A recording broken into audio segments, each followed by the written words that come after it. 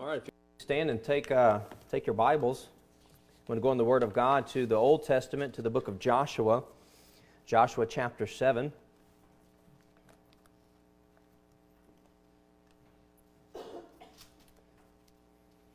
This is the second message we're getting into here in Joshua chapter 7.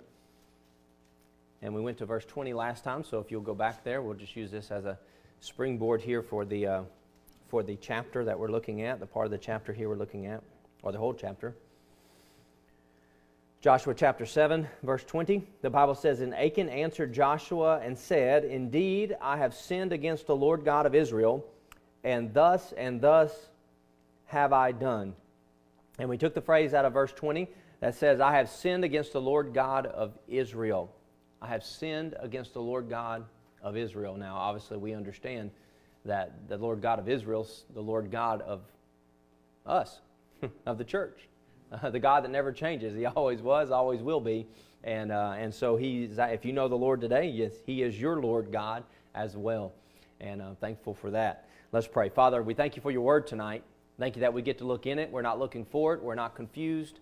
Uh, Lord, we, but we sure want you to enlighten us and to illumine our minds that we might understand what your word says. And, uh, and with this uh, issue tonight and what we're talking about with this sin of Achan and how he actually got to this point, I pray you would help us to take note of that in our own lives because this is the battle we face every day. I know for myself, it's every day, every hour, um, the same things over and over and over. And I pray you'd help us tonight with this, that we'd make this application by faith, and you'd help us to move forward with our lives the way you desire for us to in victory. And we pray you guide us in this tonight for that you might be honored and glorified through our lives. We ask in Jesus' name, amen. You may be seated.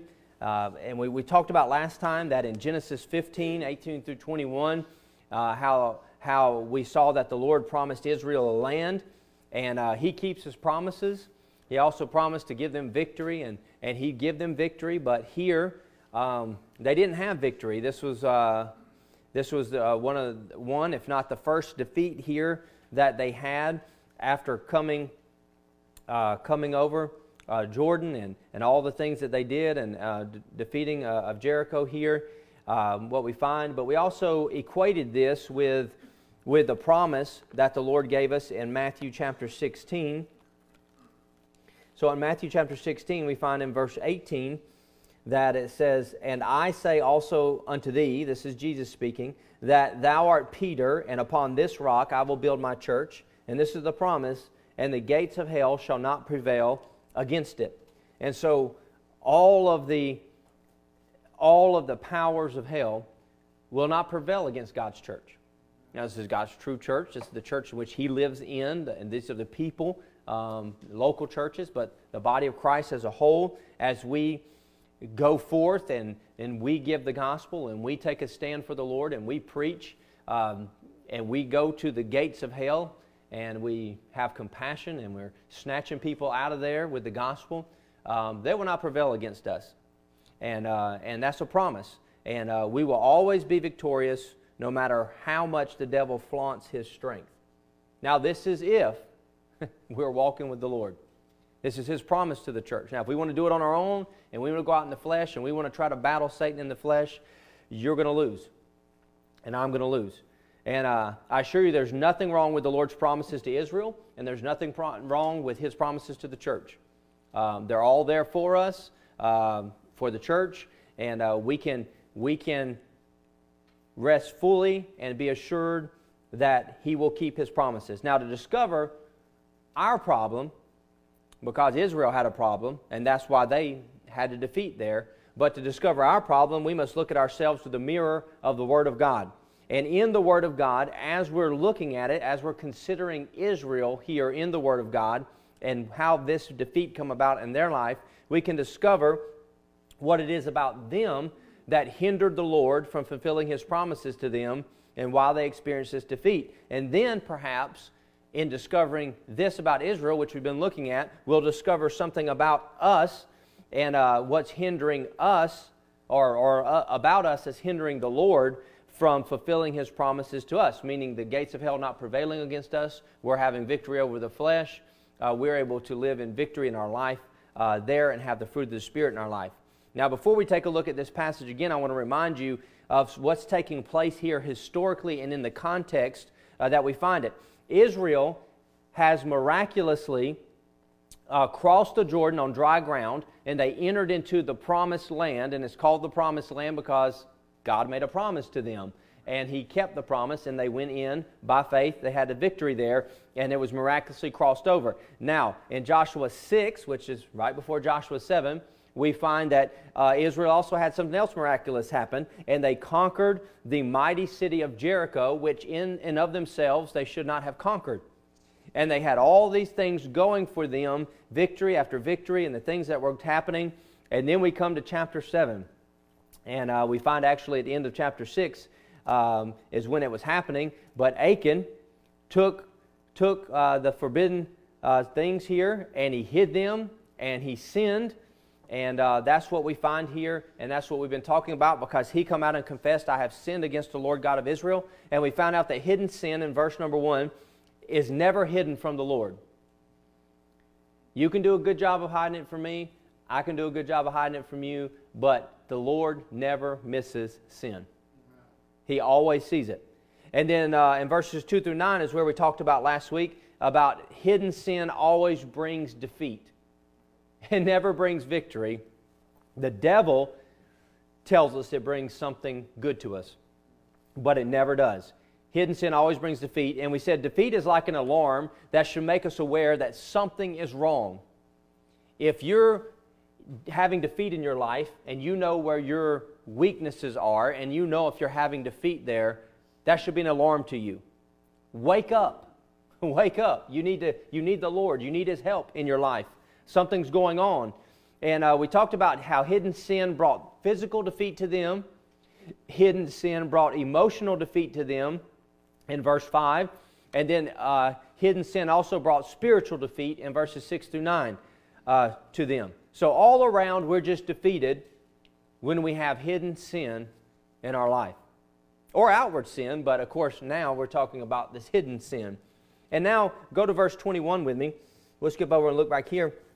And he just made this confession that I have sinned against the Lord God of Israel, and thus and thus have I done. Now, in verse 21, the Bible says this because he's going to go on and explain what he sinned. He said, When I saw among the spoils a goodly Babylonish garment, and 200 shekels of silver, and a wedge of gold of 50 shekels weight, then I coveted them and took them, and behold, they are hid in the earth in the midst of my tent, and the silver under it. So, hidden sin is never hidden to the Lord. Hidden sin always brings defeat, and here we find hidden sin and its process. Hidden sin and its process. And there's always a process to sin. It does not just happen all of a sudden. There is a process that takes place. And I want, we're going to look at a, a few passages of Scripture, but we're going to go back to James chapter 1. We're going to look here at Joshua 7. We're going to mix in a little bit of Genesis chapter 3 with it. And we're going to look at some of these things and find out this process of sin. So if you'll go to James 1, that's where we'll be predominantly as we're talking about what is taking place here with Achan in his life that we need to take note of. James chapter 1, beginning in verse 13, let's just read 13 to 15. And the Bible says, Let no man say when he is tempted, I am tempted of God. For God cannot be tempted with evil, neither tempteth he any man. But every man is tempted when he is drawn away of his own lust and enticed. Then, when lust hath conceived, it bringeth forth sin, and sin, when it is finished, bringeth forth death. That's the process. That's what was taking place there in Achan's life. And, uh, and so we go and, and we try to examine this. In verse 13, the, let's go back to verse 13, and the Bible says here, let no man say when he is tempted, I am tempted of God, for God cannot be tempted with evil, neither tempteth he any man. And so the word tempted here and the phrase um, his own lust that we find in verse 14, tempted in his own lust there, are referring to the inner enticement to evil. The inner enticement to evil. This is our own desire that we're talking about here. We understand the desire, or we must understand the desire of temptation. This is our desire that we have in us, this own lust here. And the Word of God does not say if we are tempted, but when we are tempted. So it's not a question, please understand, it's not a question if you will be tempted tonight. It's not a question if you will be tempted tomorrow if the Lord wills that you wake up and He doesn't come back. It's not a question. It's when you are tempted, when the temptation is coming, when that temptation is going to work on that inner desire that you have in your life, in our sin nature. Why do we go out seeking temptations when the Bible teaches that they just come to us? But you know you're in a bad place when you're out seeking sin because it's already coming to you. You don't have to go anywhere to find it. Lust simply means this. When we're talking about this word, his own lust here, it means desire. Our natural God given desires are not sinful in and of themselves. They're all right, God gave them to us. Now, we do have other desires that are of the sin, sin nature, but talking about the need to eat. Okay, we get hungry. Getting hungry is not a sin. Okay, I, have a need to drink. If I don't drink something liquid and I don't drink it and get that in my body and I'm, and I'm thirsty, then I'm going to die very shortly. I'm not going to live very long. That's just a natural desire. Now, outside of God's will, if I eat and keep eating, not just because I'm hungry, but because I want to eat, and if I'm drinking and I'm not just drinking because I need to drink, but I want to drink, and it could be anything, but obviously not alcoholic beverages, but I'm talking about if we're drinking water or something for hydration, you become a glutton. You know, I can sit down and drink a gallon of sweet tea and I'd be a glutton. Okay? Sorry, some of you. Uh, but you could be a glutton. I mean, that's not good for you to drink a gallon of anything all at one time. Or if you eat and you eat and you eat just ate five times as much as anybody else sitting at the dinner table, and now you feel sick and you can't move, you are a glutton.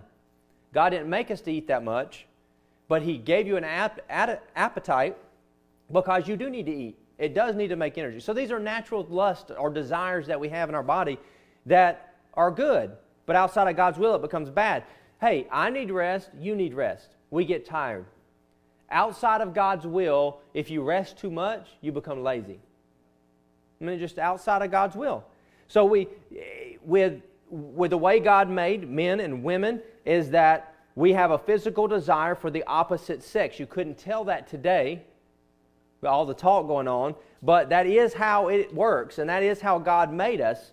Um, or the human race could not continue to go on if that was not the case. Now we have that naturally, and nothing is wrong with that naturally, but outside of God's will, which is within the bonds of marriage, that this be fulfilled, Outside of that, it becomes fornication and it becomes adultery. And that is every sexual sin that you can find falls into fornication and adultery. Anything. So I'm not picking on one thing, I'm picking on everything because God does. And it's not right. So when you get outside of God's will with that desire, innate desire that He gave us to procreate and have more children and to replenish the earth, then it becomes a sin. But these are natural desires that we have. Now, faith in God does not exempt us from temptations, but it does enable us to have victory over the temptations that come our way. In 1 Corinthians chapter 15 and verse 57, the Bible says, But thanks be to God, which giveth us the victory through our Lord Jesus Christ. Therefore, my beloved brethren, be ye steadfast, unmovable, always abounding in the work of the Lord, for as much as you know that your labor is not in vain in the Lord. So our desires must be our servants not our masters. When your desire, God given desire, becomes your master, then it's got control of you. And it's going to become sin in your life, whatever that might be. Achan, back in Joshua chapter 7, verse 21, the Bible says, When I saw. When I saw. He looked, he looked at it. So Achan saw or looked and he was tempted by his desire to have. He wanted it. It all starts with a look. If Satan can get us to look, or really what it's talking about is to gaze, not just a, just a brief look at something, but a, a gaze, you stare upon it. If he can get you to do that with the temptation, then we are headed in the wrong direction. And Achan knew what he was not supposed to be doing, but he looked at it anyway. And he kept looking at it, and he kept thinking about that silver and that gold and that garment. And he thought, I'm, I'm going to look at it anyway. I'm not supposed to. I'm going to look at it anyway. Let's go back to Genesis chapter 3. You'll find you'll find in Genesis chapter 3 and you'll know the story here of the fall of man uh, Adam and Eve. And Eve here, let's just read verse 6. And you'll see something here right away. And when the woman saw that the tree was good for food, and that it was pleasant to the eyes, and a tree to be desired to make one wise, she took of the fruit thereof, and did eat, and gave also unto her husband with her, and he did eat. Eve desired the fruit. She took the fruit, and she sinned by eating the fruit. That's what took place. Now, most people try to place the blame somewhere else besides themselves for their sin. And obviously, we see that here. People say, well, it's not my fault. I can't help it. I just committed the sin. Maybe it's, you know, if I grew up in a different society, if I grew up way back in the 1800s, I wouldn't have this issue. It's just because of the time I grew up. It's my circumstances. You know, I just got some really bad circumstances in life. And because I got these bad circumstances, that means I really can't control myself. And I'm okay. I'm okay. God's going to see me as being okay, even though He said it wasn't. He sees me as being okay. I'm going to justify this. Someone else made me do this. I mean, these are all excuses of our day. And if we're not careful, we'll find ourselves making these same excuses. And Adam and Eve did the same thing. You remember, God came to them and they were hiding, and He said, Well, who told you you were naked? Well, they started off. Well, Adam says, Well, the woman you gave me, God, she gave it to me, and I ate it. she said, Well, the serpent beguiled me. it was none of their fault, it was always somebody else's fault. And we got to be careful about that because she would have never had the desire if she would have never saw it, if she wouldn't have started kept looking at it. She knew God said, Do not eat of the fruit of the tree of the knowledge of good and evil there. And so they were in a perfect environment. The environment didn't, uh, did not make them sin. They chose to sin. She should have never looked. So the blame for our sin and misconduct always falls back on us. We cannot point the finger at another person. It's always back on you and it's always back on me. Look at first, our, uh, yeah, First John chapter 2.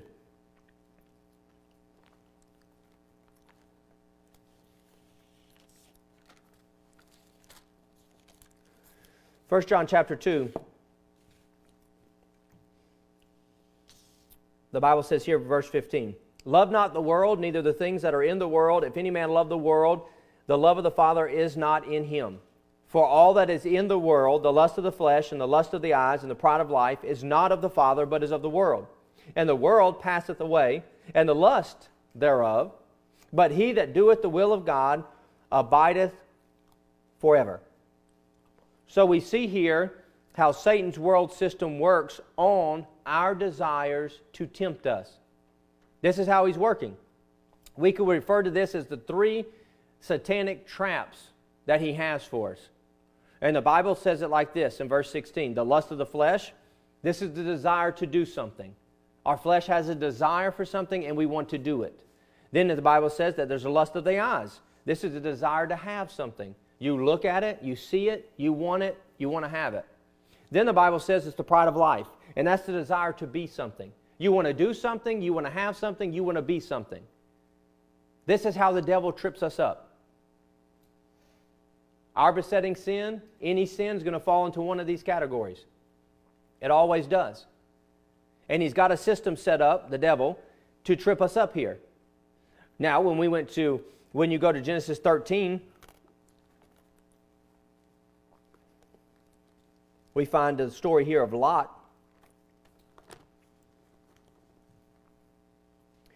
And we come to verse 10, and the Bible says, And Lot lifted up his eyes and beheld. The Bible could have, you know, or it is saying that he saw. Right? He saw something. He lifted up his eyes and he beheld it. He looked on it. He gazed on it. That's what he's doing. He beheld all the plain of Jordan, that it was well watered everywhere, before the Lord destroyed Sodom and Gomorrah, even as the garden of the Lord, like the land of Egypt, as thou comest unto Zoar. And Lot chose him of all the plain of Jordan, and Lot journeyed east, and they separated themselves the one from the other. Abram dwelled in the land of Canaan, and Lot dwelled in the cities of the plain, and pitched his tent toward Sodom. But the men of Sodom were wicked and sinners before the Lord exceedingly. And so Lot beheld Sodom and Gomorrah. He saw it, he looked that way, and he chose or he took Sodom and Gomorrah. And then the Bible teaches us that he sinned by living with them in their sin. But if he'd have never looked and gazed on that way and saw that he wanted that because why? The lust of his eyes. I can go over there, I can have all that stuff. I can do stuff over there. I can be somebody over there. Abram's not going to be with me. He saw it. He went the wrong way. The process of what he determined to do is because of what he saw. Then we come to 2 Samuel and we think about the story of David, which is all these stories are tragic stories. But David, David here in 2 Samuel chapter 11, we come to verse 2, and the Bible says, And it came to pass in an evening tide that David rose up from off his bed and walked upon the roof of the king's house, and from the roof he saw a woman washing herself. What, how did, what happened? He saw. He saw a woman washing herself, and the woman was very beautiful to look upon. And David sent and inquired after the woman, and one said, Is not this Bathsheba, the daughter of Eliashim, or Eliam, the wife of Uriah the Hittite? And David sent messengers and, take, to, and took her, and she came in unto him, and he lay with her, for she was purified from her uncleanness. And she returned into her house, and the woman conceived and sent and told David and said, I am with child. David looked at Bathsheba. Then he took Bathsheba, and then he sinned by committing adultery with Bathsheba. And then he tried to hide it by saying, Uriah, come back off the field, he could get them drunk. You can go be with your wife. Nobody will ever know because they'll just think it was when you come back. But you know what? That didn't work out because he was loyal to the king. It's a great testimony there, by the way. But he was loyal to the king. He said, I'm not going to go over there. All my other fellow soldiers are on the field. My, uh, my general's on the field. I'm not going to do that. Never did. So he sent a death, th- death note back with him, put him on the front lines, and he did. And he killed him. He didn't just kill Uriah. You know there was other soldiers that died in that battle too because of that decision. Multiple families were affected by that. Multiple deaths happened because of that. All these things. Now, now we get back to Achan. These are some bad things that were going on. But all of it, we saw, took place when they looked and they gazed at what they were not supposed to have. And, the, and Satan makes it so good and he'll sideswipe you at the most inopportune time. And you'll gaze and you'll look. And Achan's temptation was the lust of his eyes, and his desire was to have those spoils of war that he saw there. I know I'm not supposed to have those, but I could do a lot with that gold, with that silver. Those are very nice garments. So we must understand the desire of temptation.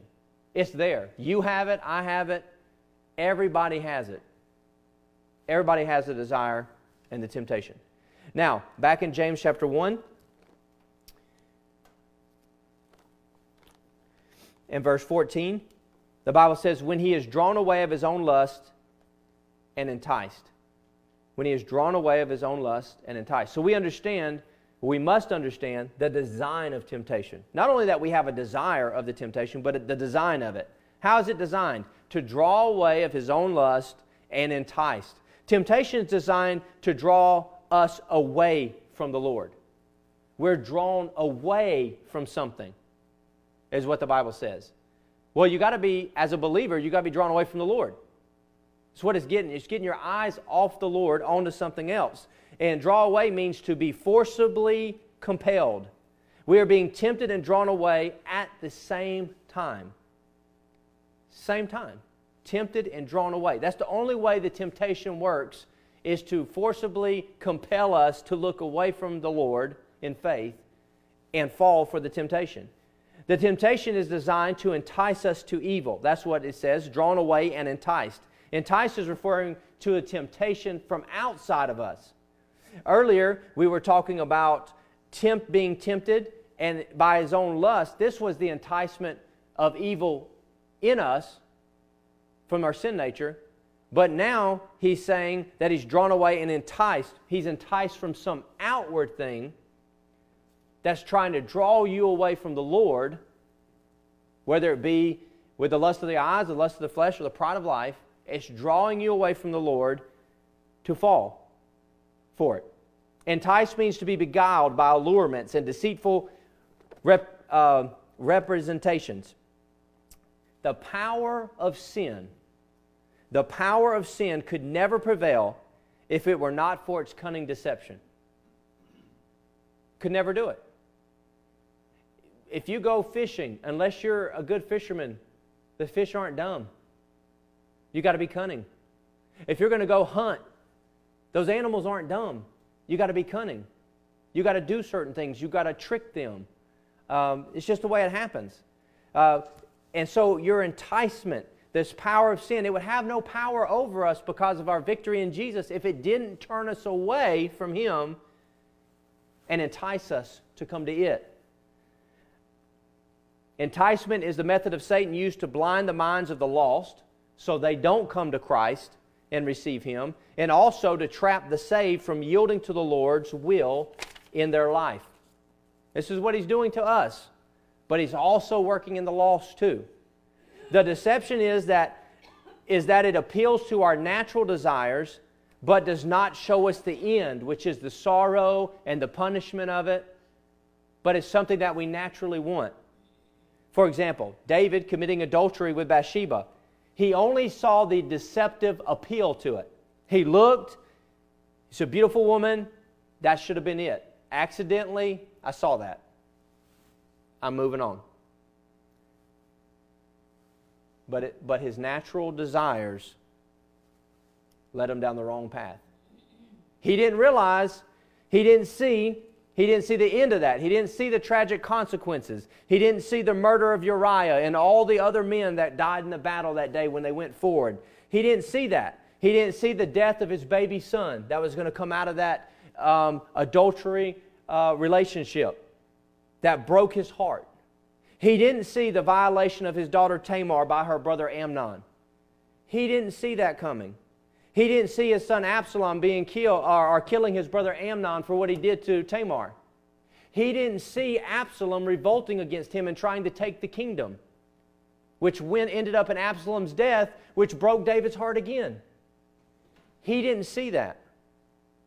But all of this breaking of his heart was because he broke God's heart what he did, he paid fourfold for it. Just like he wanted to dish out when Nathan came to him. And he says, Thou art the man. You're the man that did this. He didn't see the end. If he saw the end, he would have never done it. I don't think he would have done it. And if we could take what I would call the long look, but we don't because we get enticed and we don't take the long look, and we commit sin anyway. But if we could take the long look and say, this is appealing to the lust of my flesh, the lust of my eyes, the pride of life, but down the road, what is this going to cost me? If we could just stop a second, keep our eyes on the Lord, and say, Lord, what is this going to cost me? I know you don't want me to do this, so I don't need to do that. We could have victory. We could have victory in our life. You know, just like this temptation and sinning has these two parts about being drawn away and enticed. Holiness consists of two parts too. To be holy, we must forsake that which is evil and cleave to that which is good. Same idea. For we have to forsake the Lord and to cleave unto evil in order to sin, but you have to forsake evil and cleave unto that which is good, which is the Lord, to live holy. As holiness consists of two parts, there are two parts to this sin. We're drawn away from that which is good, and we're enticed to cleave to that which is evil. Our heart is enticed to do that. This is the process. Now, we also must understand the devastation of temptation. Back in James chapter 1 and verse 15, the Bible says this Then when lust hath conceived, it bringeth forth sin, and sin, when it is finished, bringeth forth death. So the Bible says, Then when lust hath conceived. All right, we've already been enticed, we've already been drawn away and enticed to sin. Our lust has already turned. We've turned our, our eye of faith off We've now worked in sight. We saw something we wanted, whether it be the desire to do, have, or be something. We've seen it, now we've turned to it. And the Bible says, then when lust hath conceived, that's when it conceived. When we were drawn away, it's conceived. It's conceived. We're already going that way. Lust uh, so we see the conception of lust here. And lust is not sin, but when it's yielded to, it produces or gives birth to sin. Conception, it was something that's put together, or when something comes together. Of course, we think about a baby when we think about conception. We believe life begins at conception. Right when the seed and the, and the, uh, the egg are meet together at conception, that is life. And right here, when you're drawn away and enticed that's when it's brought together. And that conception is taking place here. Conception takes place when we yield to the proposition of sin. And Achan coveted or lusted after the things that he looked at. In verse 21, he said, Once he saw them, then he said, I coveted them. And the Bible tells us, obviously in the Ten Commandments, in Exodus 20 17, thou shalt not covet. He saw it, then he coveted after it. And then we find it says this that it bringeth forth sin. When it is conceived, then it bringeth forth sin, or it bringeth forth sin. So the birth of sin, the conception of our lust, brings the birth of sin in our life. And before a person ever sins, the sin had a beginning. It's always conceived somewhere. And most of the time, it's conceived right in our mental faculties of our mind and how we think about something, and we're not being renewed in our minds, so we let it entice us away and get us. Sin works on our soul, it works on our emotions, our intellect, our will, our emotionally because we have desires that come out of our emotions, intellectually because it deceives us, in our will because we give in to it and we do it in our life. And sin wreaks havoc on us. And we should not function off our emotions, but off of our will. Children operate on emotions. But we shouldn't be like children. We should be like adults and operate off of our will. We determined to do something in our life. Now, Achan took the items that he lusted after and he carried them out and carried out the sin of his heart. He saw them, he coveted them, and then he did something. He took them. He took them. The actual committing of the sin, physically committing. And then we find the final product of death that comes out of it. And sin, when it is finished, bringeth forth death. Lust, then when lust hath conceived, it bringeth forth sin. And sin, when it is finished, bringeth forth death. The final product of sin is death. Finished means to complete entirely. So, not, not just when something starts coming together in conception, but now it's already matured and now it's actually complete. The sin is complete. And Achan hid the items that he took. He said he hid them. He knew it was wrong and he hid them. And sin born in lust gives birth to death. When sin is completed, it brings death to the soul of man. And we need the Lord's help. We need the Lord's help. Death came to Israel the Lord's presence and power was gone. 36 soldiers died. Achan and his family died. So a lot went on there. with Achan because he saw it, he coveted it, he took it, and he hid it. Sin cannot produce life, only death. At conception, that's all it's producing is death. And then when it's finished, that's what comes out of it. In the unbeliever, sin produces death of their soul on earth and eventually in the lake of fire. In the believer, sin produces death to the soul that will rob us of intimate fellowship with the Lord.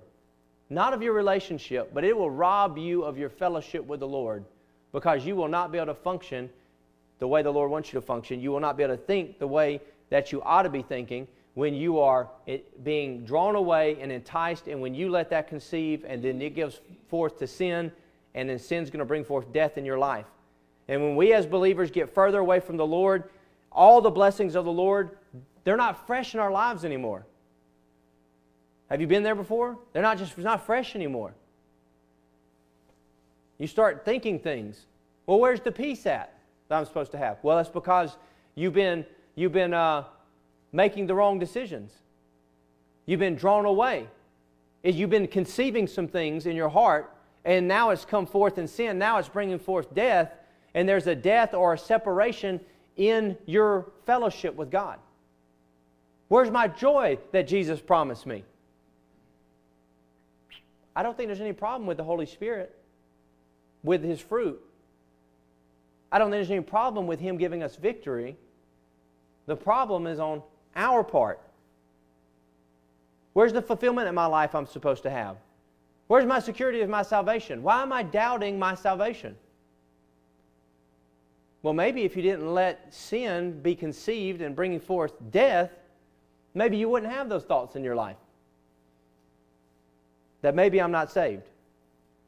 Where's the holiness in my life? Where's the comfort? Because God is, God is the God of all comfort. Where's that at? Where's my Christ like attitude that I once had? It's all been put down because you're letting sin bring forth death in your life. And you have no more intimate relationship or intimate fellowship within your relationship with Christ. It didn't get there in, with one thing. It didn't get there with one thing. It's been a process. Just like sin is a process, you get to a point by a process. But as sin grows in our mind and, and it matures, it, it turns from a desire into an action. And this sinful action turns into a repeated habit or a way of life. And we find that sometimes unbeknownst to us, sometimes we understand what's going on, but something becomes a habit in our life because we give consent to it. And when by degrees our sins carry us far out of fellowship with the Lord, and the sin which deceived us will become our destroyer. But it never started out that way. It never told you, I'm going to destroy you. Right? Come and drink some alcohol. I'm going to destroy you. Come and have this relationship you're not supposed to be having. I'm going to destroy you. Come take this prescription medicine or these illegal drugs. I'm going to destroy you. It doesn't say that. The commercials don't say that. The people that the devil uses to entice you, it doesn't say that. But that's what's happening the end of it is destruction. But how do we stop this process that's taking place? By faith, we use the Word of God. We have victory through God's Word. That's why we need to be in it. That's why I told you this past year don't get out of the Word of God. We need to get more in the Word of God than ever because we're going to need it. There's a lot of people that did not that claim to be Christians, and they're acting just like the world with everything that's going on that we've been experiencing for the past 15 or 16 months. They're in lockstep with the world because they don't understand what's going on. They're being deceived. Now, Jesus used Scripture and he faced the devil's temptation. If you want to go there, it's Matthew 4 1 through 11. I'm not going to take time to read it tonight. But you understand, when he was tempted of the devil, the devil tempted him and he said, Is written. Tempted him, he said, It's written. He quoted him scriptures. Tempted him, it's written. He brought him some scriptures. We're not to live by bread alone, but by every word that proceedeth out of the mouth of God. We use the word of God to have victory. We let the word of God draw us away from the enticement. That's the only way we're going to have victory is to go this way when the sin is this way.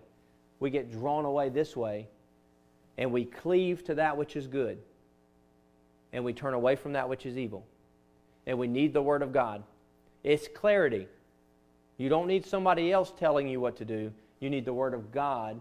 You need a conviction about what you find in the Word of God that He can help you. You have a promise. You have everything that God has for you in, in His Word, and you believe it. We use the Word of God by faith. And by faith, we also take our temptations to Jesus. We can have victory through the Lord's presence.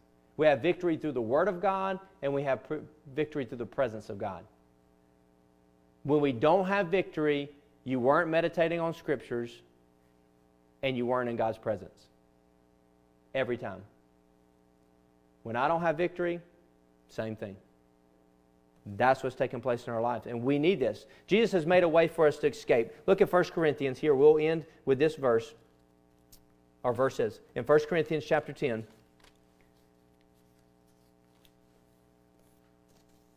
1 Corinthians chapter 10.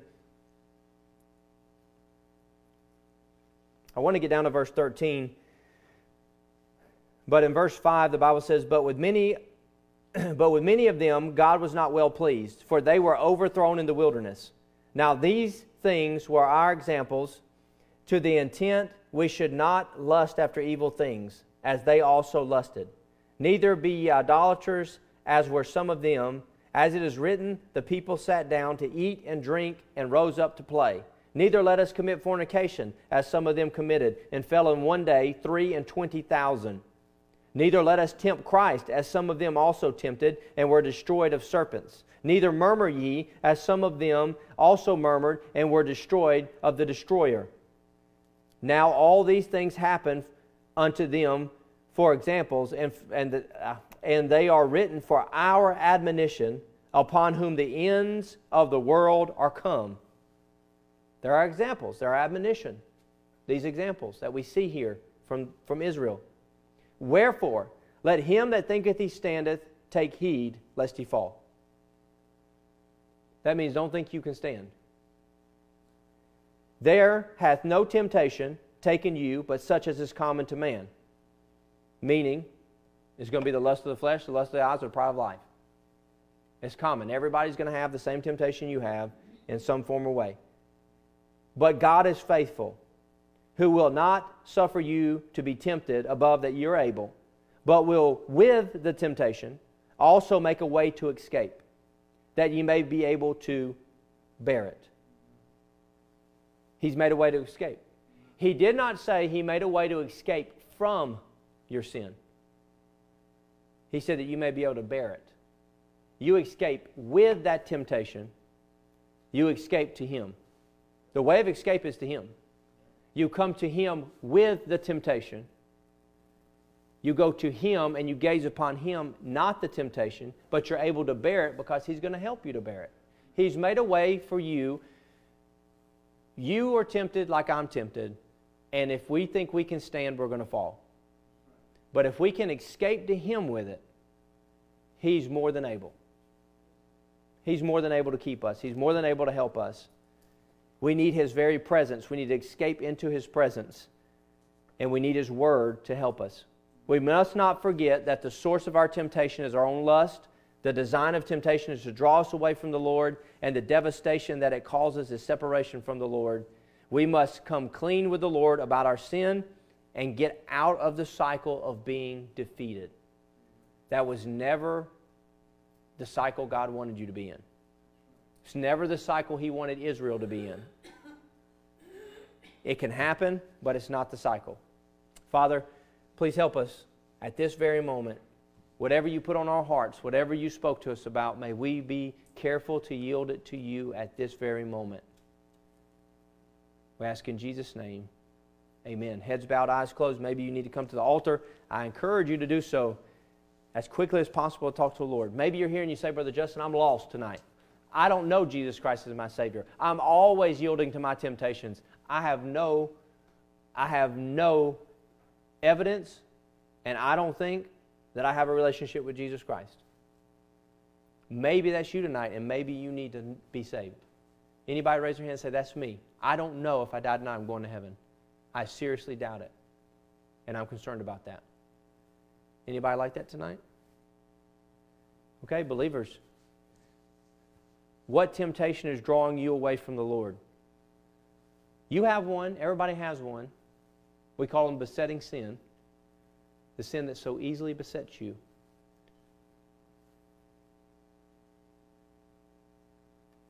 Maybe you're looking at it, maybe you're lusting after it, maybe you're carrying it out, maybe you're even hiding it like Achan did. Is there a hidden sin in your home? Is it something your family is aware of? Will you confess that sin and get victory from the Lord before He has to expose it? You know how embarrassing that was for Achan? When he thought he had it hid from everybody, but God knew about it, and God exposed it, and had to deal with his family?